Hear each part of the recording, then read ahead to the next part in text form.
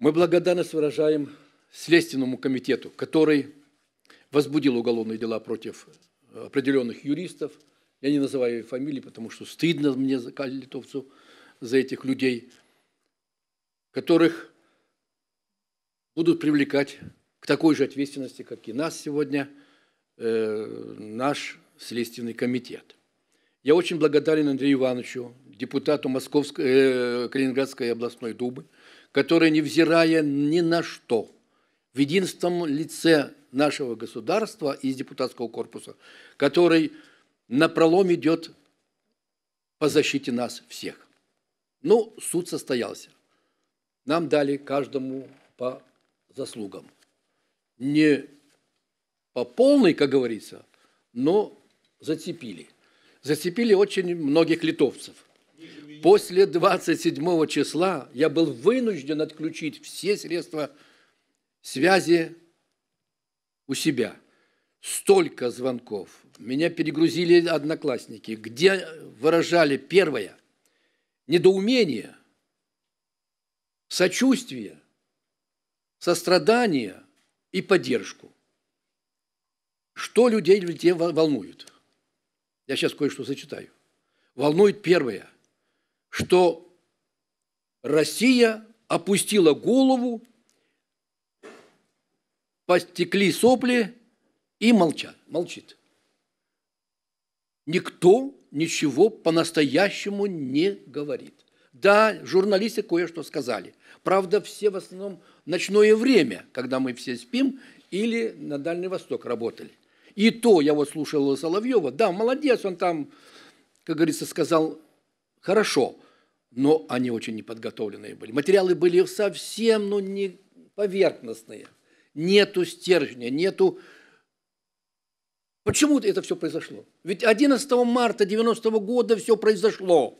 Не января 91 -го года, а 11 марта. Об этом никто и не говорит. Ведь не только Горбачев виноват в этом был. Прежде всего виноваты были депутаты Верховного Совета от Литвы. Их там 9 человек. Об этом ни слова никто не говорит. Это были виноваты члены ЦК от Литвы, э, Компартии Советского Союза. Об этом тоже никто ничего не говорит.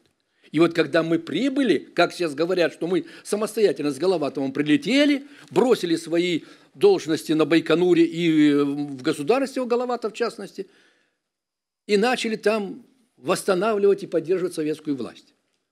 Да, мы патриоты, да, мы э, настоящие люди, которые знаем, что советская власть для Литвы была самой настоящей властью для народа. Повторяю еще раз, как литовец, как человек, родившийся там, как прошедший всю так называемую послевоенную авантюристическую деятельность э, лесных братьев, это не борцы за свободу. Это люди, которые не успели уехать с фашистами. Творили такие дела. На моих глазах я видел, как моих соседей раз, э, топорами разрубали значит, э, в целом э, всю семью 11 человек. И оценка суда никакая. Ну, 10 лет. За что? Я за то, что я организовал какую-то группу, где пытались захватить власть. За то, что я был членом КПСС. Да, я не отрицаю, я и сейчас член КПСС. Я люблю свою страну, я люблю партию, я свою родину люблю, никогда не предам. Пусть убивают, если есть за что. Я очень сегодня иногда лежу и думаю, ну почему я так поступил? Ведь была возможность выдать оружие. Вы не представляете, сколько это было оружия там. Но я вот, два человека сидели, мы с ними общались. Как быть с оружием? Ни одного не выдали, кроме секретаря МЦК. С одной стороны, сейчас жалею. До конца концов, как можно так сегодня вести по отношению к России – оскорбляют президента, оскорбляют всех остальных, что мы ватники, что мы такие сякие. Какие они сейчас? Литва стонет Литва плачет, Литва разбегается по западным странам. Жить не за что в Литве. Вот мой брат в Ирландии находится. Бросил семью, бросил все и говорит, да пошла эта страна моя родная, я жить там в ней не хочу, потому что там такой бардак. Варье захватило власть.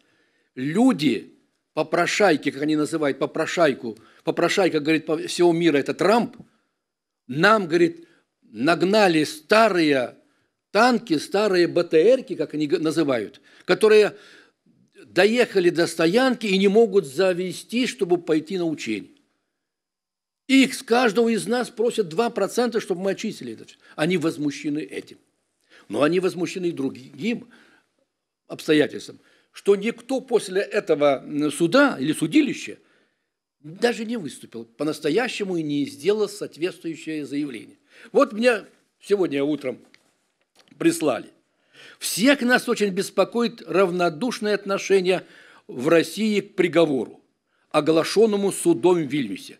Удивляет то, что, например, российский МИД не отреагировал даже нотой протеста на отказ в праве присутствовать послу России в Литве на суде во время оглашения приговора российским гражданам.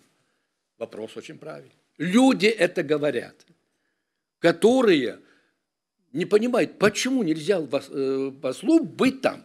Ну, я понимаю, журналисты, они могут перевратом и так далее. Нет, посла надо было каким-то образом допустить до этого дела. А для того, чтобы допустить, надо было эм, э, уважаемому господину Лаврову, наверное, поговорить с кем-нибудь. И в конце концов, и кослы, вот, вызвать посла, вручит ноту, ну и так далее, так далее. Ничего такого не было. Ну, там Захарова кое-что говорила. Я, правда, не слышал, не могу ничего говорить. Ну, конечно, все говорят, Россия кого-то боится. Или Россия, Россия поддерживает Литву из-за того, чтобы там не потерять какие-то свои позиции. Какие там позиции? Ну, там песок, торф, ну и железная дорога до, до Клайпеды, э, до Калининграда. Нет там ничего. Богатейшие так они с этой железной дороги зарабатывают. Они живут здесь. Самая э, богатая страна в мире, сказочно богатая страна в мире, Россия, боится каких-то, извините за выражение, продажных сволочей, которые сегодня засели в этом самом большом э, значит, э, правительстве и готовятся к выборам. Ведь будет так же через некоторое время, как сегодня в Евросоюзе, матерят по всем правилам украинцев. Они сейчас там разбегаются друг от друга, потому что там они уже надоели всем со своими русоповскими заявлениями. И второе, дальше, прошу прощения, эмоционально я так просто расстроен, что после приговора судьи испугались. Они боятся общественного мнения. Но общественное мнение туда не доходит, к сожалению. Нужно в интернете выкладывать все наши разговоры, все наши предложения. Вот через интернет они, они читают, они слушают все. Я восхищен выступлением Сергея Алексеевича. Но один к одному то, что говорят литовцы. Я очень просил бы общественную палату обратиться к Союзу международных юристов, к Союзу журналистов, их собрать, может быть, пригласить нас. Но мы покажем, расскажем, как там все начиналось.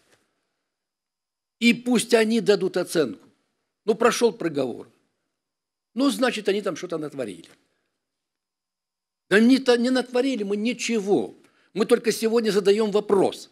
Почему 37 томов, которых сделали следователи особой важности значит, в Литве, Почему их передали прокурору Павловскому?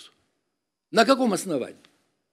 Почему из этих дел вы исчезли показания женщин, которые приходили лично ко мне, Петраускасу, прокурору республики, давали показания, что с их квартир, с их балконов стреляли по толпе, по Головатову.